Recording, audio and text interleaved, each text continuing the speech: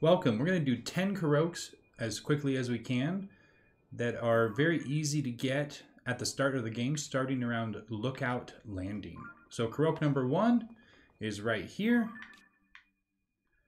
Pick up the rock. Yeah, you found me.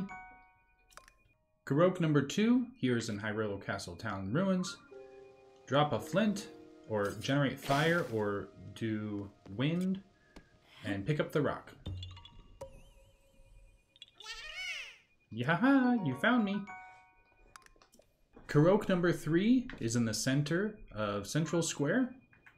Pick up the rock. That's three for three rocks we've got going on. Yeah, ha, ha, you found me. Korok number four is on the east side of Hyrule Castle Town Ruins. This one, you need to use Ascension to go through the Korok stump.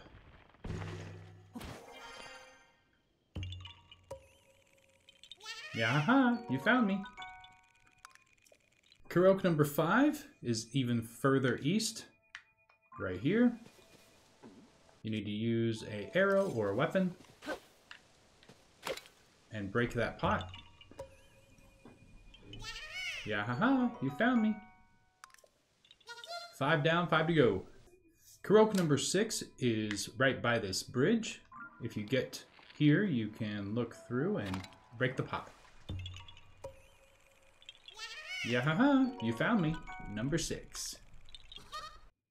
Korok number seven is on this island. All around this fountain, there's a little moat that's going around. Find it, and yeah, ha, ha, you found it. Seven down. Korok number eight is at the Helmhead Bridge. On the north side, there is a Korok acorn. Yeah, you found me. Two more. Korok Seeds 9 and 10 is going to be a reuniting right here. We're going to talk to the Korok. Hey, can you bring me to my friend? He's right there. So you can build a boat, or you can build a plane. We're going to give this guy a front row seat to a rocket ride. Let's go. Nice, that's looking good. Now we're going to kill the velocity of our little plane here. Grab him off. No, stop. Stop. Like got us a little bit. And there is seeds 9 and 10. So hopefully these 10 are very easy to do in the early game.